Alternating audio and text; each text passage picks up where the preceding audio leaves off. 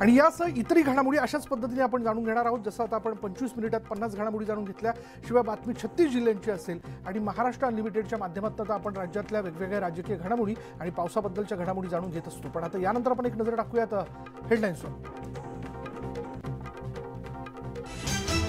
Headlines प्रायोजक राजयोग paints खुशियां आपकी रंग हमारे.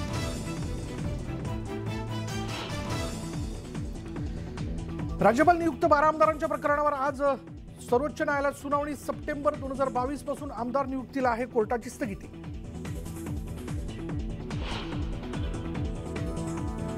राज्यातील काँग्रेस नेत्यांची आज दिल्लीत बैठक राज्यातील बदलती राजकीय समीकरण आणि निवडणूक रणनीतीवर होणार चर्चा.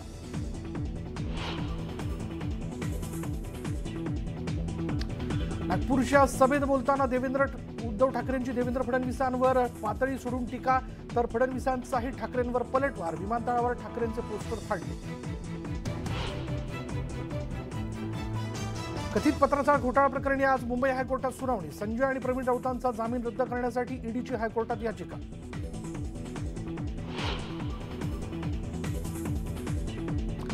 दापोली साई रिसॉर्ट प्रकरणी ईडीनं दाखल केलेला गुन्हा रद्द करण्याचा अनिल परब यांची हायकोर्टात याचिका. प्रकरणाशी काहीही संबंध नसल्याचा परब यांचा दावा.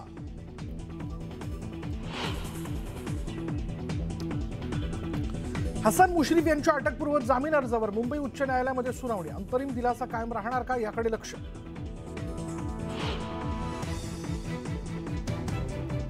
राज्याकडे पावसानं फिरवली पाठ. चौतीस जिल्ह्यांमध्ये सरासरीपेक्षा मात्र कमी पाऊस. जून कोरडा जुलैमध्येही नावालाच पाऊस. आठवड्याच्या शेवटी वाढणार पावसाचा जोर तर हवामान विभागानं आज विदर्भात दिला येलो अलर्ट मुंबईकरांवर पाणी टंचाईचं संकट कायम. तलावामध्ये फक्त पंचवीस टक्के पाणीसाठा शिल्लक. भातसा धरणात केवळ एकोणीस टक्के पाणीसाठा शिल्लक.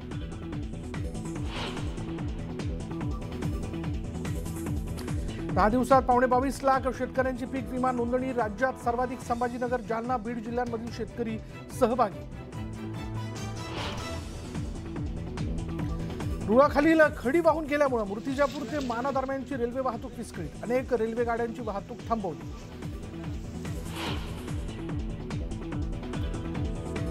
म्हाडा अर्ज विक्री आणि स्वीकृतीला आणखी एक दिवस मुदत वाढ आज संध्याकाळपर्यंत भरता येणार अर्ज.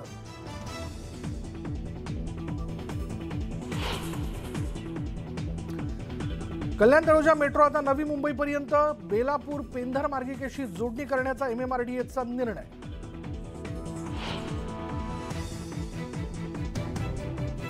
जालना जिल्ह्यातील परतूर शहरात दोन गटात तुंबळ हाणामारी छेडछाडीच्या वादातून झाली हाणामारी परिसरात तणावाचं वातावरण.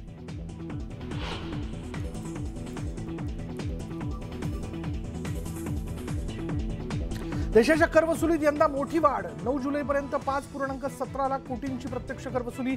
मागील वर्षाच्या तुलनेत चौदा पूर्णांक पासष्ट टक्के अधिक करवसुली.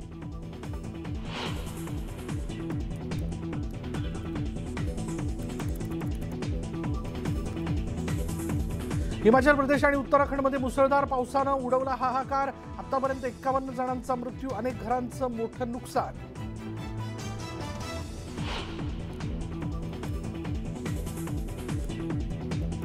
सतत पडणाऱ्या पावसामुळे राजधानी दिल्लीतली परिस्थिती बिकट. यमुना नदीनं धोक्याची पातळी ओलांडली. हथिनी कुंड धरणातून सोडलेल्या पाण्यामुळे अनेक सखल भाग पाण्याखाली